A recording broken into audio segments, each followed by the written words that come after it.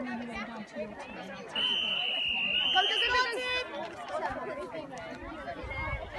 You yeah.